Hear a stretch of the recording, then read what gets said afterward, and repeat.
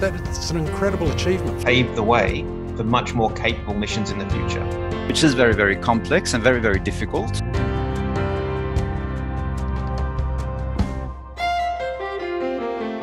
Well, it's a really significant landing because usually when you first go to another planet, you'll put down a static platform and, and just basically look around, take photos.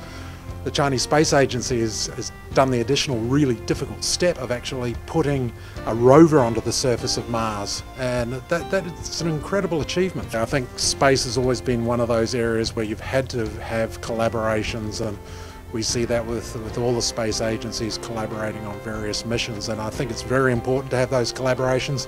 I think it's a fantastic achievement, and landing on Mars is something which is very, very complex and very, very difficult.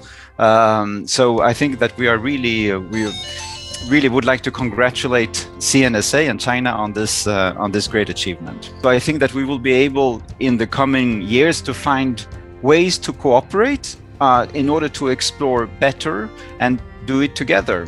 Uh, between ESA and the Chinese Academy of Sciences, we have already a very, very nice uh, cooperation program. And I think that this is something which could perhaps be elaborated more and, and have further uh, cooperations in order to uh, continue to explore the universe, which of course is something we know actually quite little about the universe. This is a extremely exciting achievement from the Chinese Space Agency. And the goals of this mission reflect the goals of the international planetary science community.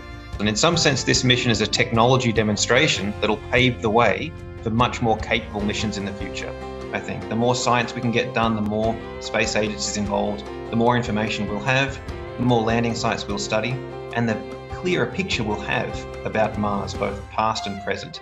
And I really think it's important that we cooperate together internationally